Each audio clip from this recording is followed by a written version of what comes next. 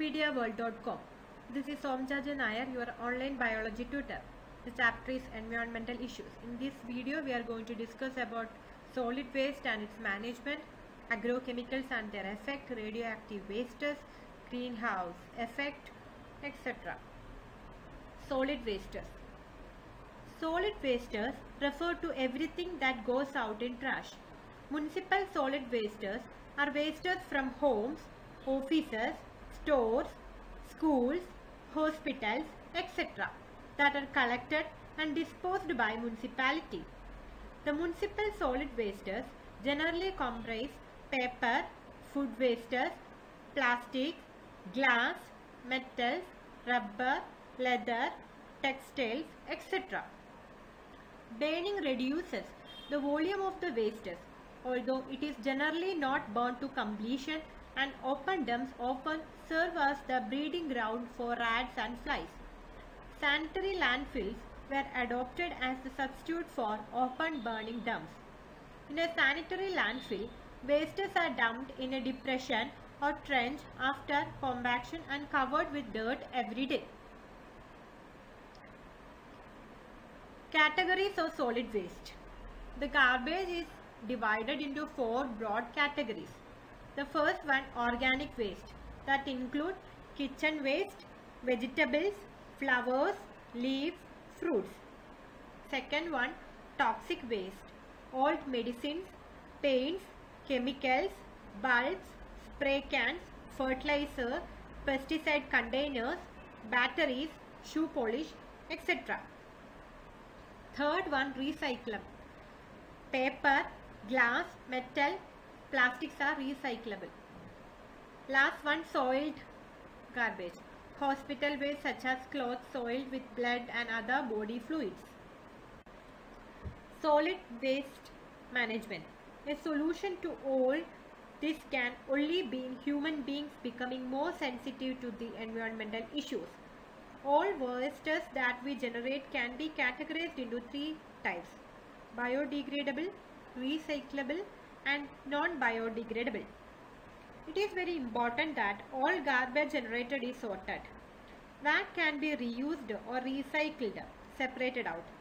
Our kabdiwalas and rag pickers do a great job of separation of material for recycling. The biodegradable material can be put into deep pits into ground and be left for natural breakdown. Le that leaves only the non-biodegradable to be deposited off. The need to reduce our garbage generation should be a prime goal. Instead, we are increasing the use of non-biodegradable product. Types of litter generate and the approximate time it takes to degenerate. The litters like organic waste such as vegetable and fruit peels, leftover foodstuffs etc. will take a week or two to degenerate. Paper 10 to 30 days, cotton clothes 2 to 5 months, wood 10 to 15 years, woolen items 1 year, tin, aluminum and other metal item 100 to 500 years, plastic bags will take 1 million years or we don't know, glass bottle undetermined. Remedy for plastic wastes. A plastic sack manufacturer in Bangalore has managed to find the ideal solution to the ever increasing problem of accumulating plastic waste. His name is Ahmad Khan. He has been producing plastic sack for 20 years. About 8 years ago, he realized that plastic waste was a real problem. Polyblend, a fine powder of recycled modified plastic, was developed then by his company. This mixture is mixed with the bitumen that is used to lay roads. In collaboration with RV College of Engineering and the Bangalore City Corporation, Ahmad Khan proved that blends of polyblend and bitumen when used to lay roads, it enhanced the bitumen's water repellent properties and will help to increase the road life by a factor of 3. Electronic wastes. Repairable computers and other electronic goods are called electronic wastes or e-wastes. E-wastes are buried in landfills or incinerated. Unlike developed countries which have special, specifically built facilities for recycling of e-wastes, recycling in developing countries often involve manual participation, thus exposing the workers to toxic substances present in these e-wastes. Eventually, recycling is the only solution for the treatment of e-waste, provided it is carried out in the environment-friendly manner. Hospital waste. Hospital waste is generated during the diagnosis, treatment or immunization of human beings or animals or in research activities in the field or in the production or testing of biologicals. Hospitals generate hazardous waste that contain disinfectants and other harmful chemicals and also pathogenic microorganisms. Such waste also require careful treatment and disposal. The use of incinerator is crucial to disposal of hospital waste. Agrochemicals and their effects. In the wake of green revolution, use of inorganic fertilizers and pesticides has increased manifold for enhancing the crop production. Pesticide, herbicide, fungicides, etc. are being increasingly used. These incidentally are also toxic to non-target organisms that are important components of the soil ecosystem. An agrochemical is defined as a chemical such as fertilizer, hormone, fungicide, insecticide or soil treatment that improves the production of crop. The use of agrochemicals raises crop production to meet demand for food with increasing population. Types of agrochemicals. First one fertilizers, second one timing and uh, acidifying agents, third one soil conditioners, fourth one pesticides, fifth one chemicals used in animal husbandry such as antibiotics and hormones. Environmental effect Agrochemical increases plant and animal crop production. On the other hand, it causes a lot of damage to the environment. The excess use of chemical fertilizers increase the contamination of groundwater with nitrate which is very poisonous to man and animals in large concentration. The runoff fertilizers into ponds, streams, lakes and other surface water can increase the algal growth and it will lead to the death of fishes and other aquatic animals. Insecticides like DDT remain active for many years in the environment and it will contaminate all wildlife, food grains and surface water including humans. Millions of wild birds are killed every year in North America due to the exposure from these agriculture insecticide called carbofuran and control measures taken. Various environmental effects due to agrochemicals have created worldwide concern. Now the approach is to shift from chemical method, non-chemical methods of enhancing soil fertility and dealing pests. The United Nations Environment Programme organized a meeting in the year 2000 and banned the production and use of 12 persistent organic pollutants, especially those used as pesticides. These 12 chemicals have been named as dirty dozen. Eight of them are pesticides such as aldrin, fluoride, DDT, dieldrin, endrin, heptachlor, mirex and toxaphene. What are radioactive wastes? Radioactive wastes are those wastes which produce radiations. Radiations that is given off by nuclear waste is extremely damaging to biological organisms because it causes mutation to occur at a very high rate. At high doses, nuclear radiation is very lethal but lower doses it creates various disorders. The most frequent of all being cancer. Therefore, nuclear waste is an extremely potent pollutant and has to be dealt with utmost caution.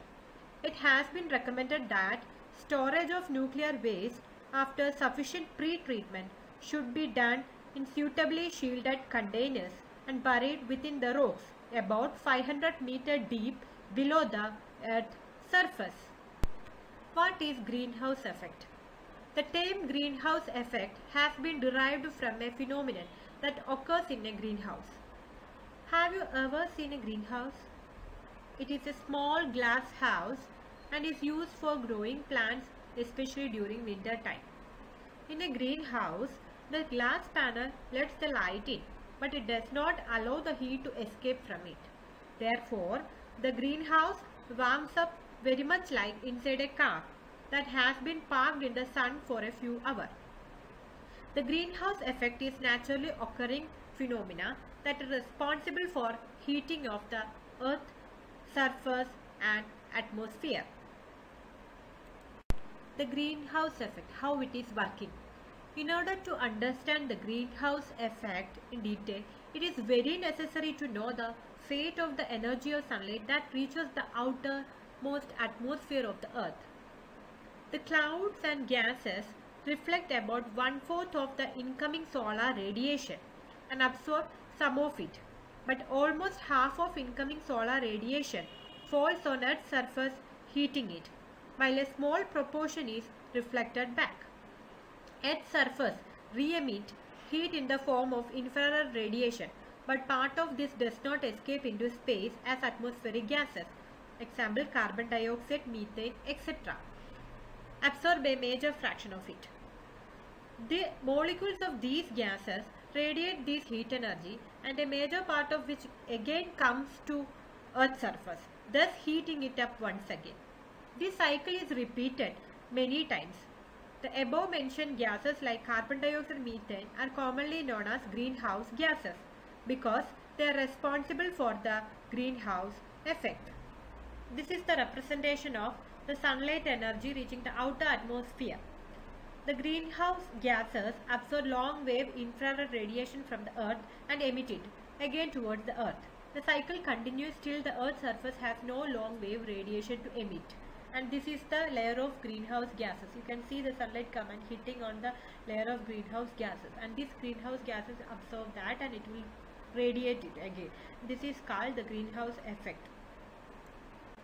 This is the graphical representation of the relative contribution of various greenhouse gases to the total global warming. Uh, CFCs contribute to 14 percentage, N2O to 6 percentage, methane contribute to 20 percentage, and carbon dioxide is the highest contributing one 60 percentage for the total global warming. Global warming. Increase in the level of greenhouse gases lead to the considerable heating of earth and that lead to global warming.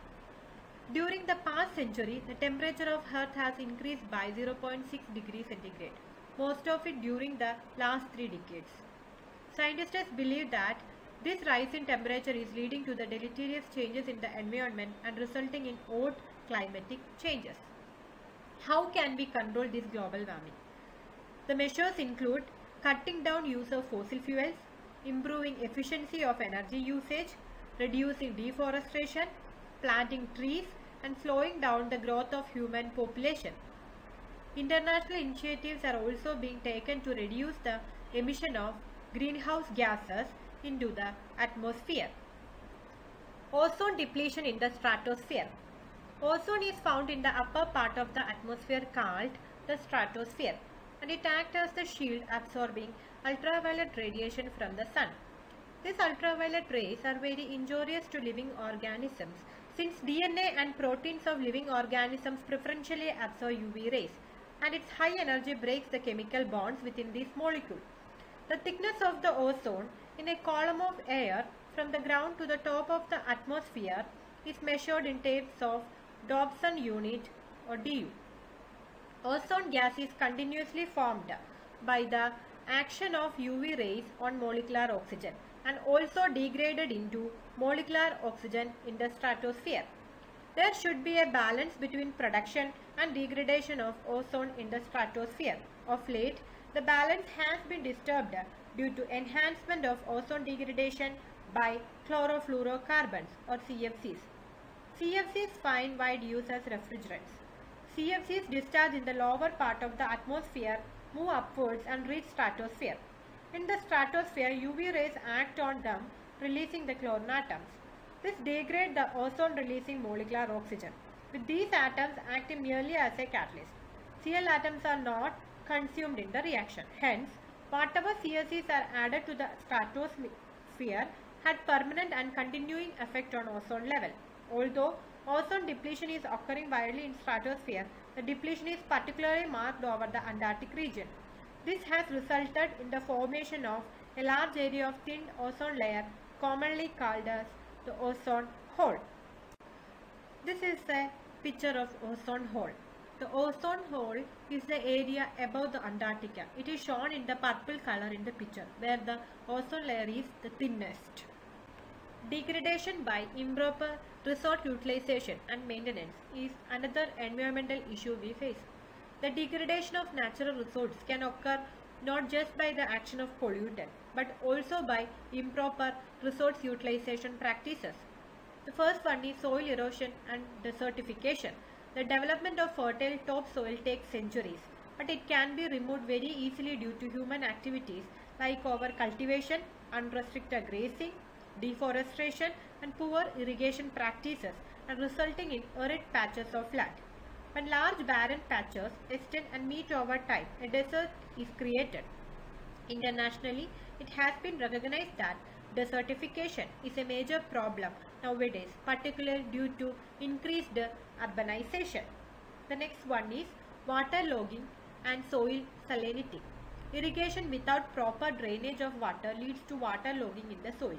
Besides affecting the crops, waterlogging draws salt to the surface of the soil. The salt then is deposited as a thin crust on the land surface or starts collecting at the roots of the plants. This increased salt content is inimical to the growth of crops and is extremely damaging to agriculture. Waterlogging and soil salinity are some of the problems that have come in the wake of green revolution. Deforestation and reforestation. Deforestation is the other major environmental issue we are facing nowadays. Deforestation is the conversion of a forested area to non-forested ones. How does deforestation occur? A number of human activities contribute to it. One of the major reasons is the conversion of forests to agricultural lands so as to feed the growing human population. Trees are axed for timber, firewood, cattle ranging and for several other purposes and this increases the deforestation rate. Then, what is reforestation? It is the process of restoring a forest that once existed but was removed at some point of time in the past. Reforestation may occur naturally in a deforested area. However, we can speed it up by planting trees with due consideration to biodiversity that earlier existed in that area. So, these are the major environmental issues we humans facing in nowadays. So we should be more careful to decrease all these environmental issues at least in future. So thus I am winding up this chapter and this is the last video for the zoology syllabus of the plus 2 batch. Thank you so much.